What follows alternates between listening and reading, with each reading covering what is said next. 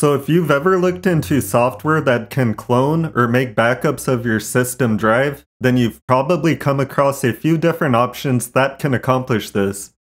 Windows has a built-in utility that can create backup images, but the available options are somewhat restrictive. There's also third-party software from various companies that have free and paid versions of their software. But there seems to be a recent trend where the free versions are becoming more restrictive with the features they offer, and some companies are phasing out their free version altogether, forcing users to dish out money on software that used to be free. Well, thanks to free and open source software such as RescueZilla, PC users no longer need to be at the mercy of giant multinational corporations. RescueZilla is actually the younger brother of CloneZilla, which is also an open source disk imaging application. But CloneZilla's interface is extremely basic and outdated, and can be somewhat confusing for casual users. RescueZilla fixes that by providing an attractive and easy to use GUI. It works for both Windows and Linux. But most importantly, not only is it free as in free beer, but it's also free as in free speech. So with that in mind, let's now go over how to use RescueZilla. I'll be showing how to do two things today. First, I'll be cloning a Windows 10 system to a larger SSD, and then afterwards, I'll show how to create a backup image of a Linux system and how to restore it. Alright, so let's get started. First, we need to download RescueZilla, so let's go to the download page on the official site and download the latest stable version here. I'll leave the link in the video description. Now this file is a bootable ISO file, so we'll need to load this onto bootable media such as a USB drive to run it. I recommend using Ventoy to create your bootable media, if you're not familiar with Ventoy, then you should check out my video guide that goes over everything you need to know to get it set up. So after loading RescueZilla onto my Ventoy drive, I'll now reboot my computer so I can boot the Ventoy drive, and then select RescueZilla from the list. You'll first see this screen where you can select your preferred language. Use the arrow keys, then press enter to choose your selection, then go to Start RescueZilla. It might take a minute to load, then you'll be presented with the main screen here. So let's start by cloning a Windows 10 system drive. Windows is currently installed on a 240GB SSD, and I'll be cloning it to a 256GB SSD, which is slightly larger. Both of these drives are internal drives that are already installed in my PC. This method will copy the entire drive to the new one, and then afterwards we can expand the main partition to fill up the entire drive since you'll probably want access to that extra space. Start by clicking the clone button, then you'll be given a description of the process. Click next to continue. The drives in your system will be scanned and listed. Now select the source drive that contains the operating system. In my case, I have Windows installed on drive number 2, so I'll select that and hit next. Now select the destination drive. In my case, it will be drive number 4. Now you'll be given the chance to customize the partitions, but in most cases you don't want to modify this. All the partitions should be copied, so just click next. Now you'll be given a summary of the operations it's about to perform. Also take note of the rescue option at the bottom. If your original drive is starting to fail, then there might be corrupted data on it in which case you'll want to select this option. If your source drive is failing, then there's a chance the corrupted data can't be recovered, but selecting this option will give you the best chance at successfully cloning the drive. Now click Next, and then click Yes to acknowledge that the destination drive is about to be erased and overwritten with the cloned copy of your source drive. This process might take a while depending on the size and speed of your drives, when the cloning finishes, click Next, and then exit out of the application. Now I'm going to expand the main partition on the newly cloned drive so that it fills up all the available space. This step is only necessary if you clone to a larger drive. To do this, we'll use the Gparted app which comes bundled with RescueZilla, so double click the shortcut that's on the desktop here. First make sure the new drive is the one that's selected, if not you can change it here. Now we can see the list of partitions on the drive, with the main one being this partition that's 222.94 gigabytes large in my case. The unallocated space at the end is what we want to add to this main partition. However, you'll notice there's this smaller partition in between them that's only 530 megabytes. We'll need to first move this partition to the end of the drive so that the unallocated space can be combined with the main partition. So I'll first right click the smaller partition, then select resize slash move. Now change the value for free space following to 0 megabytes and push enter. You'll notice the value that used to be there now moved up to the free space preceding entry. This is what we want, so then hit resize slash move to confirm and click OK to this warning message. By the way, this partition will only be there when cloning a Windows system. If you're cloning a Linux system, then you won't need to do this step since that partition won't be there. Now let's resize the main partition, so right click it and go to resize slash move. We want this partition to use all the available space, so you'll want to add the free space to the size of this partition here. But instead of calculating the exact number, you can simply enter a really large number such as 5 terabytes like I just did, and the size will automatically change to the maximum available space.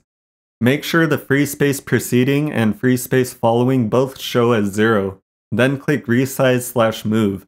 You might end up with an unallocated space of 1 megabyte, but that's fine.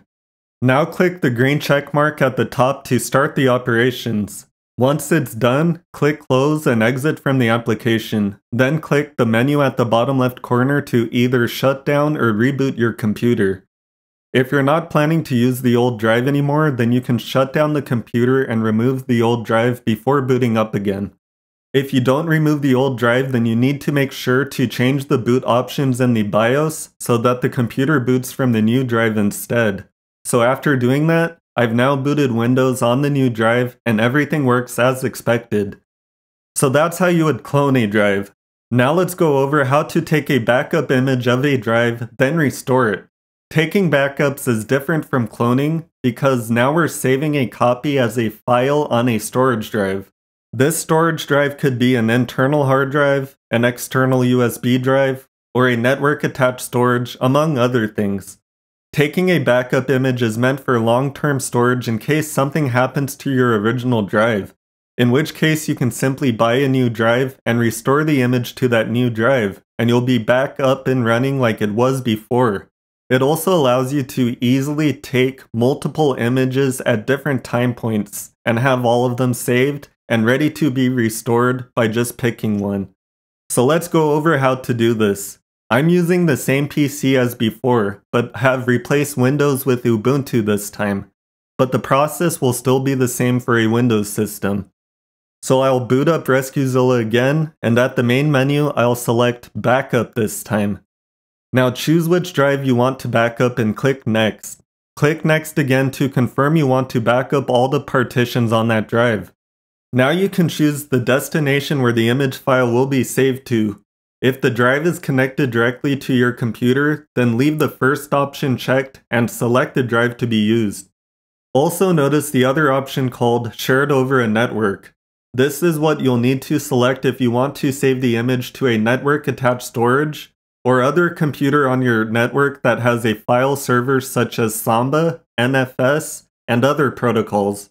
But I'll be saving the image to an internal 500 gigabyte storage drive, so I'll select it from the list and hit Next. Now click Browse, and you'll be given the opportunity to specify which folder you want to save the image in.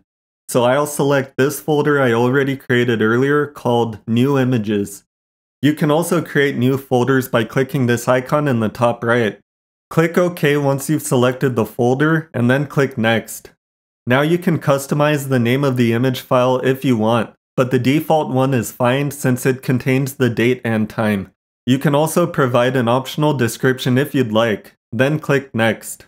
Now you can choose which compression method to use.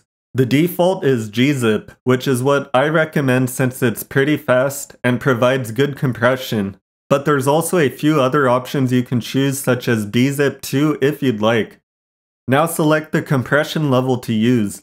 The default is 6 which provides a good balance of speed versus compression level.